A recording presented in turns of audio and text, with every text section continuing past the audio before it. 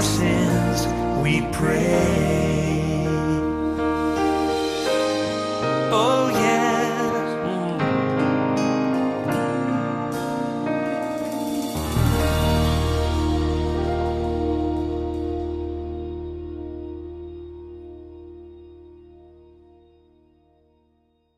Yeah. Did you want to explain that? Well, so very often you get super spiritual Christians. When I was a new Christian, I had one guy who'd come up to you and almost pin you to a wall and ask, How are you today? And I, if you said, Oh, I'm fine, thank you, said, I mean spiritually, not physically. you know, so some of these Christians can be daunting. Mm. So, So the the- go on. seeking advice from a Christian that you know is solid is quite a a good thing with the Bible, the whole package, you know, the ABC. Check it all out, all three methods. Yeah, the ABC was advice from a I don't know Uh, what you call it, Bible. wise, sane Christian. B was is this in line with what the Bible says? And C is this Mm, common sense? Yeah. Yeah, they're all good, three good things for discerning God's voice, definitely. Anybody else had a, a bit that really stood out to them? Dorothy? I Was liked his first presentation of um, a, a visual aid, the old phone on the table, but then said, Oh, I won't use that, and got his phone out and said, Oh, I know it's God that's calling because I've got him in my phone already. I thought Yeah. that was uh, yeah, reverse visual aid. Yes, that was clever, wasn't it? And I think those visual ways of teaching are, are really helpful. All that he's had on his bookshelves have really been good reminders, haven't they, that we can remember things from. I, rea- I realised what an anorak I was when it, when the phone appeared, and I went, "That's a 706 telephone." I know. It really is, but I'm just, what am I doing?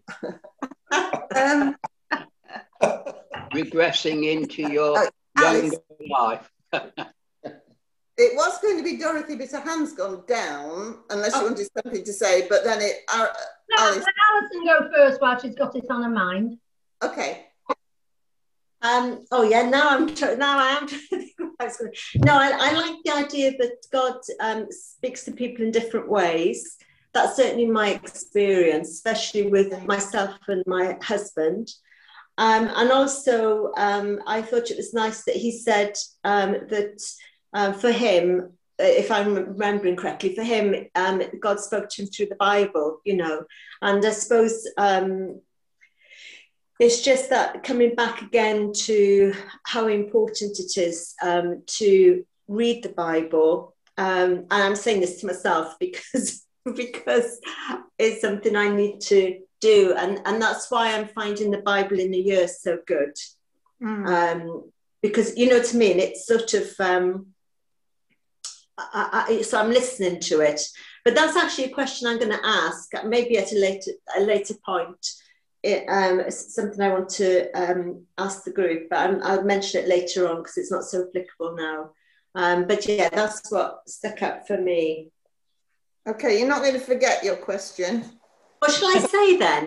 Yeah, go it's on. about it's might- sort of well yeah what it is so i've decided because i'm so bad at um you know read i say this i'm so bad at reading the bible but you know when you've got these long bits to read like Yeah. the bible yeah yeah, that I, if i did audio then Yeah. i could go i could walk i could listen and what have you and that's actually been quite good but then i thought to myself especially today that actually, although I'm listening to it and I am, it is helping me to understand the story because you get a big chunk. But the thing when you re- actually read the word, then God can make things, you know, you can things can jump out at you, you know what I mean? God can impress things on you. And I'm just wondering if I'm just listening to the audio, am I really missing out on Well, the yeah, actually, it, I think it's a really good idea to listen to the audio when you're walking, and you know, I sometimes listen to stuff when I'm walking as well. But I'd probably want to come back to bits that had really, you know, got my attention, and I wanted to find out more. I would probably want to just come back and look at that again. Yeah. Yeah. but I wouldn't give up on the listening because I think that it's an easy way to absorb God's word, isn't it? yeah. Um, but you know, it's hard to retrace and think, well, actually, what was that? What what was actually being said there. I would need to go back and have a look at it as well, Mm, mm. but not necessarily all. You know, there are three readings, aren't there, in Bible in a year, and it would probably Yeah, might only be one that you actually wanted to go back and really have another look at. yeah.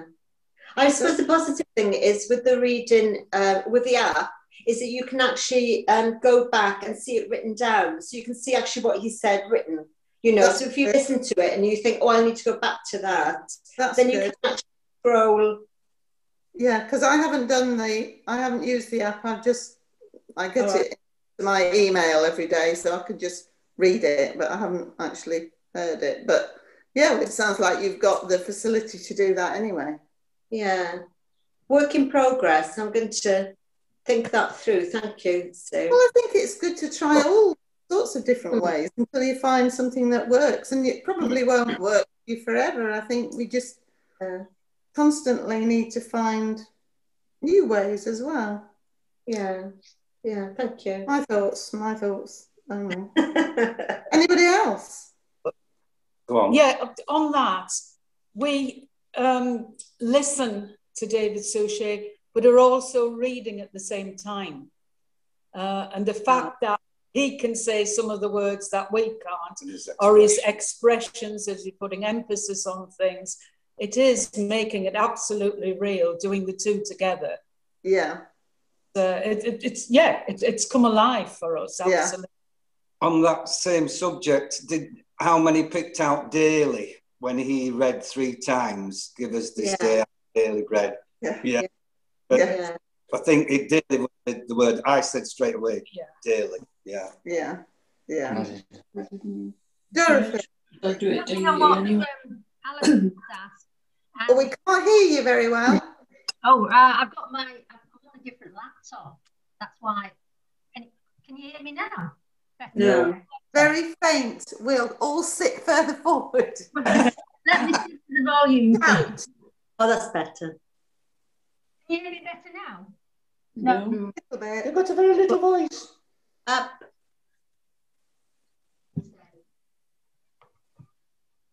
It's on 100%. I'll use the other laptop computer. okay.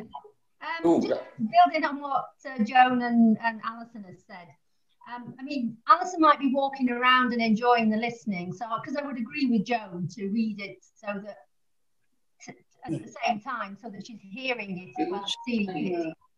So, what I what my, I would suggest to Alison is that if you're walking around and you can't apply Joan's um, system, which is you know ideal, then come back. Plan to come back to the bit that you want to listen to and just read it out loud to yourself. And like a child learning to read, I mean, I I I can read Bengali, but I cannot understand it because I've learned the alphabet. And apparently, I read it. I used to read it really well, better than this my teacher's children. But I had no idea what I was reading. So what I'm saying is, it might be a struggle at the beginning, but just read the word out loud, and then you'll be audioing yourself as well as reading. Mm, Thank you. Thank you, Dorothy. Uh, so yeah, back to my bit now, should I? No? Thank you. I think one one bit that really struck me actually came from the book as opposed to the um, video, and that was him saying, and this might help Alison, maybe I don't know. He said, "Learning about God from the Bible requires study. Mm, Listening to God through the Bible requires prayerful meditation." mm, And I thought that was so relevant. You know, you can, I'm going to read the Bible, I'm going to learn every verse, I'm going to know, you know, all the links, all that I can do, all the academic stuff in the Bible. mm. And it will teach you about the Bible, but it won't necessarily make you more able to listen to God. And by listening to God, you need to spend, uh, and that can be walking around, Alison. You know, you don't have to be sitting down to do that. But Mm. The listening to God through the Bible requires prayerful meditation, and I, I like that. Mm, It was and then, of course, in the actual um, video, he gave some examples of how to use prayerful meditation on a very short bit of the Bible or on a, a couple of verses. Anyway, anybody else? Dorothy. the bit I was going to say. Uh, bit about that registered with me was the last bit when he said, um, read the Bible is familiarization, explore the text, which is imagination, pray the text, which is conversation, and then enjoy the text, which is celebration. The first three, no problem with, but I didn't really understand, and I didn't really because and the example you used, you didn't actually go into the celebration bit. So when we come to chat, if people have got um, um, anything to say about how you enjoy the text as a, in a form of celebration, that'd be helpful. Can you remind us what the third one was? Because it the read it familiarization. The then there was imagination, That was explore the text, explore. And and then then pray, pray Pray. and then enjoy. The praying was what? Pray the text, which was conversation. Conversation, yeah. Anybody got any ideas about the celebration aspect of enjoying God's word? Yeah. Alison, Well, I just thought immediately came into my mind. I don't know if this is is going to be helpful, but I was just thinking about the promises of God, and um, there's some things which um, I realise as a Christian that there's some things that I really hang on to. Um, mind you, that's not terribly helpful. That's not really right. Well, I think for me, I think it's the promises of God, and that's what you can celebrate. So, but then if you're not having read a promise, then can you celebrate? Yeah, the promise, you can celebrate it. yeah. But if it's if the promise isn't in the text, yeah. I suppose you, yeah, that's hard. I suppose maybe you can't, yeah, I don't know. I'm, I'm so sorry that wasn't very helpful because I realised, Because very often you can find a promise in a verse. yes, then you can celebrate. So go back and look for the promise. Claire, I think personally for me, it's a wonderful way of celebrating life itself by feeling that we are all children of God and that He is my Holy Father, my Heavenly Father, my all in all. And I think personally for me, that's what the celebration is and also to know that I'm saved as a Christian and to know where I'm going finally in my forever home. And I think that's wonderful to celebrate. Mm-hmm. yeah, yes. I find it quite easy or easier to celebrate when I'm singing some fantastic song that's based on scriptural words. Um, And it just puts you in a mood of wanting to celebrate. I mean, come to mind is the the song that starts by saying "celebrate." You know, you, will you probably all know it. Um, So I find that easy. Um, it- just an example. Mm. I think he was saying though we celebrate the tech, you know, whatever we like. He, he uh, give us this day our daily bread. He didn't go on to. Um, he explained very well the first three points, but then didn't go on to say how you celebrate. Um, Difficult to hear. It is I don't know whether this was in the book or uh, whether it was in the video because, but I mean, I've sort of seen, I've done them both, so I'm not sure. But um, in the ABC bit, the when you're talking about advice and taking counsel from a wise elderly Christian or a young one, that doesn't matter. Um, I liked the bit, and it struck home to me where he said he'd gone to. He and Sammy were uh, not in agreement. They were not seeing eye to eye about something. And he went to see uh, a friend, an old friend, Christian friend, who got a very strong Cockney accent. And he listened to him and he said at the end of it, just do the thing that make your old lady happy. I thought, yeah, I'll do that. That's a good idea. Stay with me, you know, it really is. Wise friend there. The chapter started with something that really grabbed my attention, which I didn't know, but apparently that who has anybody read this chapter this week? Yeah, well, you know what I'm talking about. That babies who are born deaf make just as many noises as babies who can hear at mm-hmm. first, but attempts at speech soon trail off. And he was drawing the analogy that only those who listen and who can hear become fluent in prayer. What do you think of that? I thought it was quite interesting. Hmm. Just something to think about. Hmm. Almost Ilse, Go on. Who was that? me.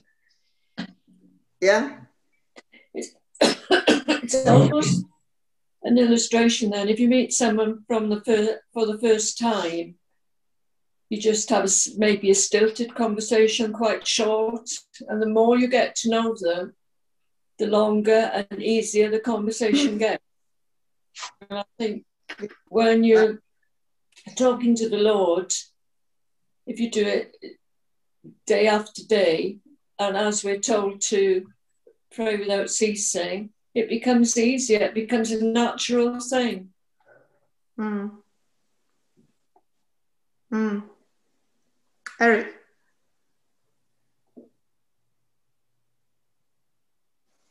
Can't hear you. Can't hear you. Can can you hear me now? Yeah. I think I think listening is probably one of the most uh, least um, practiced skills. Um, active listening, I think they call it, don't they? And Yeah. listening is actually just as important as all as the other three because it's like when you meet somebody and you're talking to them. How many times have it happened? I know it's happened to me personally, where you're talking to the other person and you think they're listening, and then you see them looking over your shoulder at someone. Yes, yeah. You think you think, well, how impolite that is. Um, You know, you're supposed to be listening to what I'm saying, and I think you can draw that same analogy with with God in can't you? If you're not listen, if you're not listening properly, I don't know. Is he going to get fed up? Is he going to get angry with you that you're not listening, or or or uh, I, I I don't know. But listening is so important. I think, particularly these days. Hmm. Can I respond to that, Eric? I mean, I no, I've noticed that in old age, some of my friends, in, in not necessarily talking to me, but in general conversation, I've seen friends talking to other friends, and some of the friends just drifting away. And I, I think it's far more um, frequent in in older people than it is in younger people. Um, but it took me back to listening to God through the Bible, and it's very easy when you're reading the Bible. For me, anyway, I, you might, may, may all be different, but it's very easy to read the Bible and go through it quickly and miss stuff that God's actually saying. Just Mm. as in the same way as somebody drifts off when they are um, not listening to another person. So what I've tried to do, and he actually mentions it, I think it's in the book, I'm not sure it's in the video. You read a passage in the Bible and then reread it and then reread it slower. And sometimes on the third time through, you'll hear God. Um, so that, that's another technique. That and prayerful meditation Yeah. over the text. Alison, Oh, well, I was just going to say that um, uh, when I think about prayer, um, it's I think of it as being rela- relational. You know, so you it's actually part of a relationship with God. So, um, so obviously, in a relationship, you need to listen. Otherwise, you're just talking at someone. Um, and I suppose then thinking about the listening. Um, that's I, I I really enjoyed that listening bit, but again, that's coming back to the rela- relational thing. Is that um, you know you have to listen to your partner. That's part of having a relationship or a friend or whatever. Um, so that's yes, that's my my comment on that. Mm, definitely relational. Claire. Um, in the program last night, he said about in when he was reading Samuel, Yes. and um, coming to giving the message to Eli, Mm. he said that God tried three times, even though Samuel got it wrong, or was it Eli that got it wrong? Well, Eli didn't realise that God was speaking to Samuel. Yes, but it was he came three times to him. Yeah. So if we don't hear it the first time, he will try and reach us again. Mm, yeah, that's right. If we're carrying on listening. Yes. Yeah. And the other interesting thing he brought out of that passage was that actually the voice of God doesn't have to be scary, booming sort Yeah. of voice. It can actually, not surprisingly, if we're made in his image, it can actually sound like another human being. Mm. Yeah. Something else that he said was that two ways that we can tune into God's voice were to slow down and to soften up. Slow down. Before we go on to that, actually, because there's a couple of questions I wanted to ask and get your thoughts on. Judith, did you want to say something before? Going back to the, the Samuel, we've, we just commented on it after. In about for two weeks, this is the third time we've uh, studied about the, the Samuel story. So this morning, um, I don't know how many people know the old hymn, Hushed was the evening hymn, which was about Samuel. Um, I looked it up, and, and the third verse is, is just, it's sitting out to me now. Oh, give me Samuel's ear, an open ear, O Lord, alive and quick to hear each whisper of your word. Like him to answer at the call and to obey thee first of all. And I think that that is, it's a lesson in itself. And I don't know if that was God saying to, to us, you know, this is the third time I've told you Samuel's um, story. Listen to what I'm saying. That's really interesting. And yeah, I do remember that. Yeah. Hmm. You were saying. Well, I was just going to then pursue these ideas of how we can tune into God's voice. First, slow down, which is funny because this came up in our Malmesbury group, yesterday, and we have one guy who uh, we weren't studying the prayer course, we were actually doing something on Exodus, but it was about how what times and where have you really been able to listen to God? And this guy, who is a very high powered, is in a full time job and is very, very busy and lots of responsibility, was saying, Well, when I slow down, I can listen to God.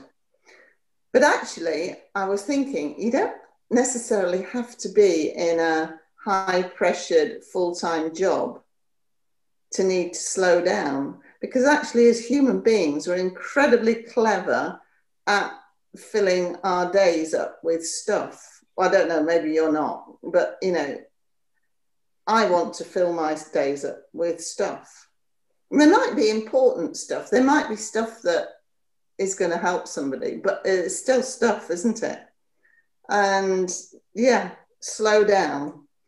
And the question was, what practical actions could we take this week to make time for listening to God?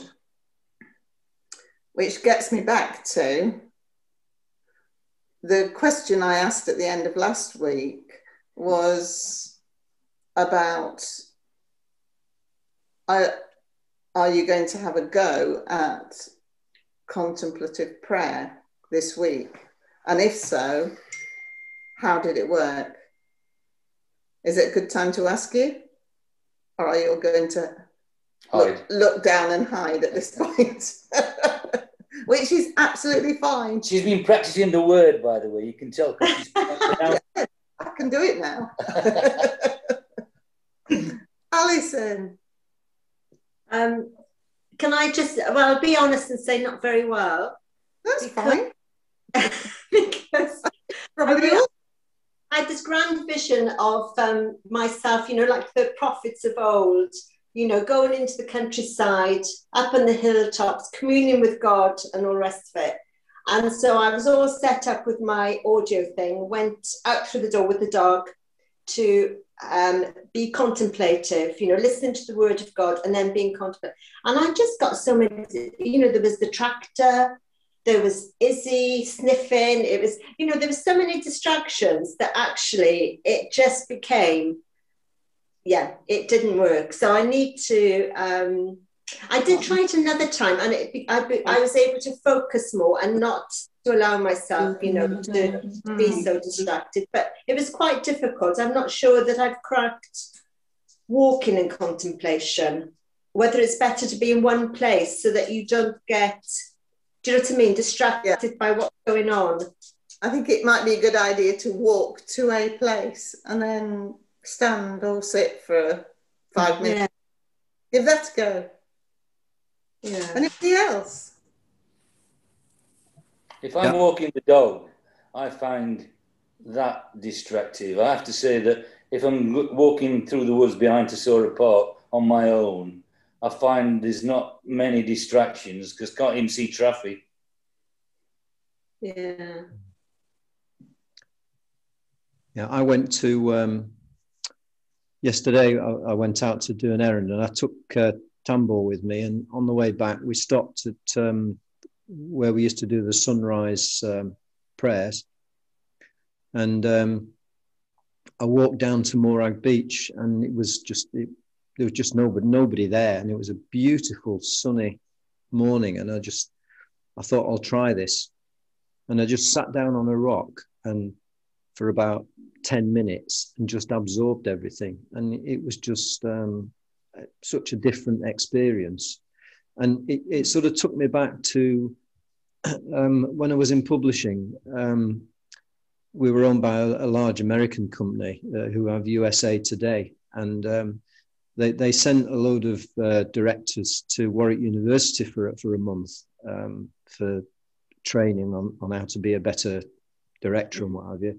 And one of the things they they um, taught us was this matrix, like a box of uh, four boxes, and they all had labels on. And one of them was urgent but not important, and one of the others was not urgent but important. And we spend most of our times and our lives in the urgent but not important box which Yeah. actually doesn't get a great deal done. Mm. It's mm. the phone rings when you're doing something, so you you you, you answer it, but it's not uh, not urgent. You know, it might. It, sometimes it is, but most of the times it isn't. The, the text that comes through on WhatsApp isn't necessarily urgent. Uh, it's, it's not important, but it's urgent because it's just it's happening mm. then, and you get deflected into that when most of us, uh, certainly as uh, as managers and, and as people, I, I suspect now, should be spending more time in the. It's not urgent, but by goodness, it is important to spend time in that quietness with your loved ones, with your family, whatever. But it Mm. takes it takes real discipline to keep in that box, and, and Mhm. the other shove the other boxes further down the line. But that I think that's the lesson I learned from that uh, contemplation this week on Oh. Moraig Beach. Brilliant. Thank you very much, Eric. Thank you. Is that yeah, yeah. Um, early on in one of the the, um, the sessions, um, Pete had said about they, when they have alpha courses, they always have prayer warriors. So our old church at Caister was starting a new alpha course, and we said, well, we'd, we we'd got so much out of the last one that we would sit here and pray. So Monday night, we um, got all our visual aids and everything ready, and just thought, an hour? Are we going to be able to manage that? Well, about an hour and 10 minutes later, we suddenly realized we were going. And funnily enough, we had both had the same thoughts. It was obviously the church is hurting. We'd gone through everybody. It was difficult to actually concentrate on Alpha, but just the experience of everything just stopped around us. And for that hour and a bit, we were just totally, totally in the uh, in with with God and and what we needed at that time, what was needed at that time. So that was. It took a while to actually come back, but when we did, I think it was a feeling of pure joy. So that was probably the celebration, the pure Yeah. joy. Yeah. The other thing was yesterday. I uh, always, well, I often use my prayer, hold my prayer thing, usually in my left hand because it's not comfortable in my right hand. Um, and I always think, well, that is because I, I totally, I, I'm not left-handed at all. I need God's help in that hand for strength.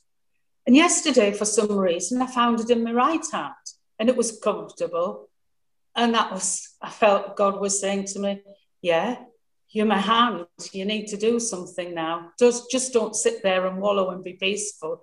You're my right hand. You need to get going." So that's that's my experience this week of prayer, of contact, of contemplative prayer. Yeah. That's wonderful. And God spoke to you through that time of listening. Yeah. as Yeah. Thank you, Judith. Anybody else wanted to share anything? Steph. Thank you. Um, just something came to my mind. I, while you know, I've been thinking about contemplative prayer, and that for me, and for Tim as well, when we talk about these things as a couple, even uh, with other people, um, it's not always for me. My experience isn't always that it's somewhere I have to be totally on my own or in a separated place. Um, and this this memory came up for me, and it's more in relation with him. But I remember he was down the black field picking blackberries a couple of years ago now, and he came back up, and um, he all scratches on him and stuff like this from reaching the blackberries. And he said to me, "You know, while I was down there, he said, and I had the, I was leaning into the blackberries and I could see these beautiful big ones where the sun had got them on and I wanted to reach up and get them. But the more I reached up, the more I got, as we say in Ireland, scrobbed. there he's smiling. She knows that's a, a, a, a distorted English word. We got scratched, we got scrubbed. And, you know, he got quite badly hurt, but he was so intent, he told me, on getting the good fruit at the top. And he said he heard the Lord say to him, you know, he just said it so simply. He said, you know, I want you to get the good fruit. But in order to do that, you've to press and you've to press in and you're going to be hurt along the way. And um, what you said just struck a chord in me Judith, when you said the hurting church. And um, that's often the case. We find ourselves in the hurting church, the hurting people, the hurting all of us, each of us. But it was just a lovely, as Tim was contemplating, it was a lovely thing for how God spoke to him about that. And um, it was just, just, I think that can happen to us as well. We don't have to do it. Well, for me. Mm. So, um, yeah. That saves me from having to say anything then. Say it again, Tim. I said, that saves me from having to say anything. All right. yeah. Well, that was a lovely Can, picture can I just, as I just well. The, can I just tell you the story, actually? I was just listening to Eric earlier on saying that we have to listen. And there's a couple we know, uh, they run a children's home out in Thailand. And Charles is one of these that um, Glynis was talking about, super spirituals. And a good many years ago, I was over there, Stephanie was still in this country. And one weekend, I decided to go down to spend the weekend with him, to put time in. And I was leaving on Sunday afternoon. And myself and Charles and his wife, who's Malaysian, Yo Fong, we were just sitting down chatting away. And I said, well, I said, I want to go soon because I wanted to get away from where they were before it got dark. I wanted to get onto the main main road before it got dark. The next thing, Charles just stood up and said, excuse me, and he walked away. And he, came back about 20 minutes later. And um, young Frank said to me, I said, don't mind Charles, he's, you know, he's, he'll have something to do. But Charles came back anyway. I said, I'm sorry about that, he said. I just felt God talking to me and wanted to tell me something. So he said, I just excused myself and went into my room to talk to God. And uh, you know, just when Eric was saying about listening to people, I, I just thought of that. Like he, he's this guy he gets up at three or four in the three and four o'clock in the morning to spend time with God. That's how much time he spends and how much he's you know being contemplative. But um, you know, obviously he's, he's tuned in. Like I'm not sort of saying he's super spiritual, and I'm not. I'm not anyway. But um, but like he's so tuned in to God talking to him that uh, it's just a, a normal thing for him. It's like if Stephanie said to me, you know, said something and I hear it. It's like when God speaks to Charles, he just hears him because it's just a practice with him. Hmm. If I said something and Tim heard me, that would elevate to miracle. Oh. That's what it is. Oh, yeah. Hmm. Well, Can I go back to common sense? yeah, yeah, go on. I just want to go back, if I may, to the C bit uh, of ABC, which is common sense, and how um, you speak to other Christians or non-Christians, for that matter, um, and what God wants you to say to them. And it's very easy if you don't listen to God and think, what would Jesus say, to just go rushing in there and and talk about stuff that's going to put people off. And the classic example for me was when my brother-in-law, uh, who'd been brought up as a Christian, was about 18 and he went to his um, his own brother-in-law who opened the door and the first thing he said to him was, how's the state of your soul, Jim? No, brother. Brother, how's the state of your soul, brother? And Jim turned around and walked away and he never came back to the Lord. And I, I, I'm not I'm not blaming, I'm just saying that if we don't use the common sense thing that says, how would Jesus do it? If we just go in like a bull in a china shop, Yeah. I don't think that we're hearing what God's saying to us. Um, and it's a lesson for all of us and um, and for me as well that you know be careful what you say and how you say it. Mm-hmm. Mm-hmm. Mm-hmm. Yeah. Yeah. I, tot- I, I, I totally agree with what you're saying, Eric. At the same time, I do believe that people look to you how your behavior is. And if you're a good example as a Christian, and also not only how you speak to them, what you say to them, it's your tone. You know, you're not there to prove that Jesus is the savior of the world. You're there to uh, to be um, to pass the seed, to sow the seed. And when people look at all of us here, we've all suffered very much with loss, with sickness, with one thing or another. People that haven't got that belief, they think to themselves, well, how can she possibly be happy going through life with what she's suffering? Do you know what I do you understand what I'm saying? Hmm. You know, you don't have to push, you know, I do I hate the expression Bible pusher, Bible punchers. We don't have to be like that. No. We, have, we actually have to say very little, but gently, quietly, and by how we behave, I think is very important. I think that's exactly right, Claire. I think that's what Roger was saying, really. Um, Le- Leslie? Um, I saw I saw Sharon again this week because we're we're helping her repair her car, and um, as we were going into the garage, she brought her husband with her, so I was reacquainted with him, and she said, I don't know why you're doing this. So I said, Well, you need help. And she said, Yes, but you've given it, given us money, da, da, da, da, da. And I said, Yeah. I said, It's what we do. She said, But why? I said, Because we love you. You're one of God's children. And she said, But you know we're not Christians. And I said, No, but we still love you and he loves you. And I, I always feel so inadequate because I don't really know what to say because I'm not a great spouter for Christianity. Um, I'd rather do than talk. Um,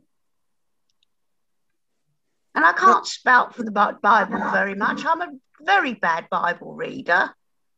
Um, but she it, she just couldn't understand why we cared about her, and I find that very sad that people don't think they count.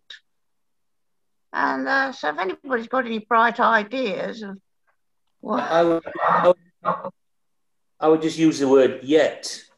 She doesn't. She doesn't Mm. know yet. But you, the way you're portraying Christian people is is is fantastic, and Well, Christ-like. it's Mm. Christ-like. That's that's true. So just let let God water that word that you're giving out through your actions and your lifestyle. Absolutely. Yes. Claire. Can I say to Leslie that um, he has given each of us different gifts, and your gift and Tony's are doers. You know, um, Roger's Roger and Sue, they have their gifts are to bring it all together, uh, particularly bringing on different courses.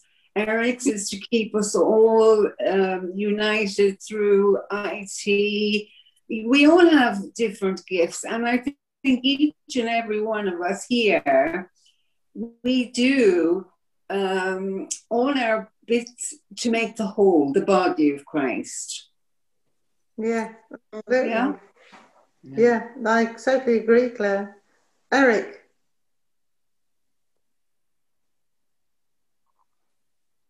Can't hear you. Keep pressing the button on this thing. Uh, one of the ways I, I- can help Leslie answer that is that I remember um, when I went to um, when I joined the fire brigade, you, you have to you have to go for a three month residential course, um, and um, one of the things I remember vividly, this one of the things that came up was that um, the instructor said to us, "You will you will get asked by people, how can you do this job?" You know what what, makes you? When everybody's running the other way and you run you go towards the danger or you put your life in danger to save somebody else. And he said what what you have to say to people is it's just what we do. It's it, it isn't a job and it's like the nurses on the front line isn't it of the, the COVID Yeah. that's putting the, their lives at risk to, to help other people. It's not just about picking up the salary uh, every month and all the rest of it. And I, and I think it's the same with what we do as Christians and what the uh, my knowledge of the Bible isn't very good, but it's what what the scriptures say about what Jesus would do. Jesus would never leave somebody in distress. No. And in the main, I don't think we would either. You know, if it, Mm. my, my my Christian walk has changed me in um, I, I could never really drive past anybody who was in distress and just leave them there because it, uh, you know it's none of my business. I'm not going to get involved. You, it makes you somehow want to get involved and and um, help people who need that. Yeah. So Yeah. I don't know if that helps you, Leslie, in any way. Yes, yes. I'll keep on keeping on. Yeah. You're great. I think that's fantastic, Leslie. John? Leslie, just keep singing to yourself. And I agree with um, with um, Roger when he said yet, because just keep singing to yourself, let the beauty of Jesus be seen in me, all his wondrous compassion and purity. It's a wonderful hymn, so you can look it up. But that's, you know, if you're portraying Jesus, if, if people are seeing the beauty uh, of Jesus in you, then they'll see that you're God sent. And if you're God sent, it'll become a yet, same as Roger said, uh, because eventually they will. Yeah. About two phone calls and we got- Exactly. There's, there's something really stopping us this morning. No worries. Yeah. Well, thank you everybody for coming along this morning. We have one episode left of the prayer course. Look forward to seeing you all next Thursday. And have a good week. Looking forward to it. Yeah, Yeah, it's lovely to see you all. it is. It's lovely to see you all. We miss you. We miss you. Mm. We're sort of here. We're sort of together, but we're not.